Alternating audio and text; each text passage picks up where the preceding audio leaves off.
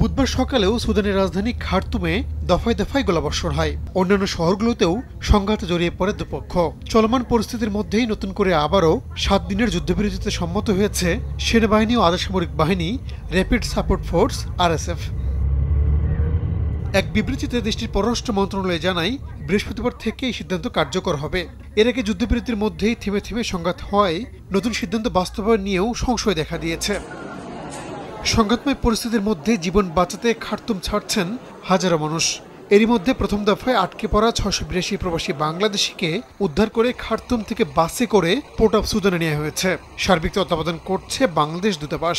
সেখান থেকে জাহাজে করে সৌদি আরবের জেদ্দে বন্দরে নেওয়া হবে তাদের। পরে বাংলাদেশ বিমানে করে ঢাকায় ফিরিয়ে আনা হবে প্রবাসীদের। এদিকে তিন সপ্তাহ ধরে চলা সংঘাতের কারণে সুদানের মানবাধিকার পরিস্থিতির চরম অবনতি হয়েছে। এদিন এক বিবৃতিতে জাতিসংঘ জানায়, দুই পক্ষের সংঘাতের মুখে পড়ে হাজারো নিরীহ মানুষ প্রাণ হারিয়েছেন। দেখা দিয়েছে খাদ্য ও খাবার পানি সংকট। এরই মধ্যে প্রাণে বাঁচতে প্রতিবেশী দেশগুলোতে লক্ষাধিক মানুষ আশ্রয় নিয়েছেন বলেও উল্লেখ করা হয়। রাহানুল রানা, সময় সংবাদ।